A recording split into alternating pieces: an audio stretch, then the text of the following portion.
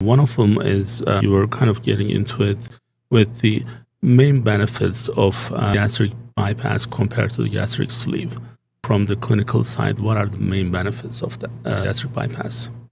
Gastric bypass definitely has a much deeper, deeper impact on improving type 2 diabetes compared to the sleeve gastrectomy. In other words, if you look at what happens to the blood sugar level after both procedures, in some cases, blood sugar can normalize immediately mm. after surgery in gastric bypass. Not in all patients, but in some patients it does, showing us that gastric bypass definitely has a much stronger impact on the correction of type 2 diabetes mm-hmm. compared to the sleeve. Now, this does not mean that the sleeve doesn't affect type 2 mm-hmm. diabetes. It does indeed. But the effect of the sleeve gastrectomy may occur after the weight loss has occurred as opposed to immediately.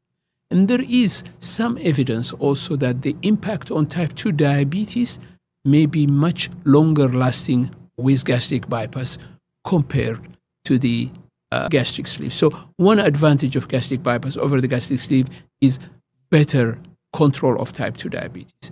The second advantage is that with gastric bypass, people rarely have heartburn as a consequence of the mm-hmm. surgery, whereas this can be seen with some patients who have the gastric sleeve.